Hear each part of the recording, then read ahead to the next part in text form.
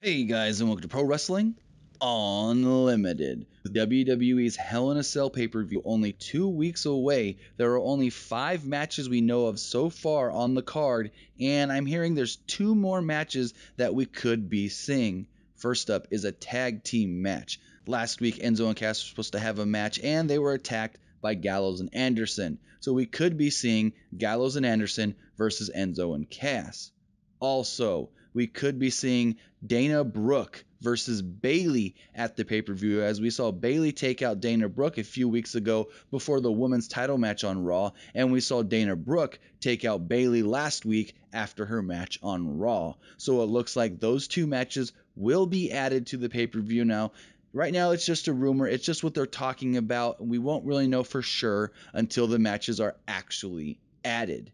If any more news does come up on Hell in a Cell in two weeks, we will bring it to you here on Pro Wrestling Unlimited.